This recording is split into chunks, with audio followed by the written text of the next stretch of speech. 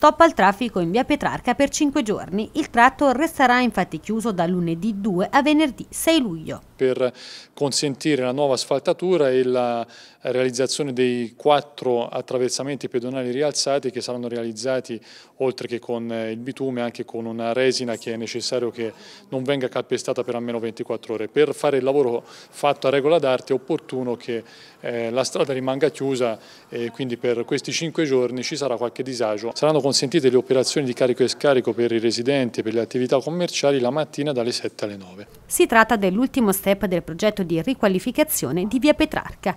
Comporta la rifrestatura di tutta la strada un miglioramento del sottofondo per garantire una maggiore stabilità della struttura e la, la finitura con conglomerato bituminoso modificato che con spessori maggiorati abbia un'usura più lunga nel tempo, con finitura dei passaggi pedonali, con una stampatura simil pietra con lo stesso colore per evidenziare la parte pedonale rispetto a quella stradale. Il parcheggio Cadorna resterà aperto e fruibile ovviamente apportando qualche modifica all'uscita. il giorno 2 sarà aperta con uscita dal lato Cadorna in sinistra, non in destra, in sinistra.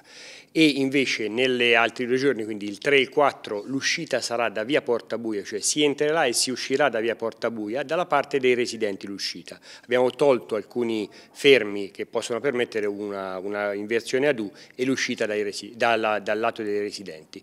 Il giorno 5 si torna sempre in uscita in via Petrarca con svolta sempre in sinistra. Quindi di fatto viene garantito l'utilizzo della Cadorna, il disservizio, eh, diciamo tra virgolette, il fastidio un pochino di più ci sarà nei giorni 3 e 4 quando l'uscita sarà eh, da parte del, sempre dentro via Portabuia in modo tale che eh, comunque la, il servizio complessivo venga garantito e l'esercizio ci sia.